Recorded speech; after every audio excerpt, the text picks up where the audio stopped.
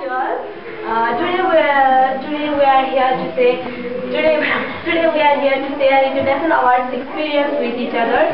Each other. I have um, I have finished my bronze medal. Uh, medal to complete this award we have to finish its many parts. It have four four parts. I have uh, uh, one of them is service. Today I am going to say, tell you about my service. For service, me and my six friends went to Karuna Bhavan. Uh, it's an organization where victims of HIV AIDS live. In that room, there were 14 children and some others. We serve the children with using our idea, our ideas. Uh, for ser- when in service, we played with children. Children, we them, taught them how to read stories and how to maintain their health particularly.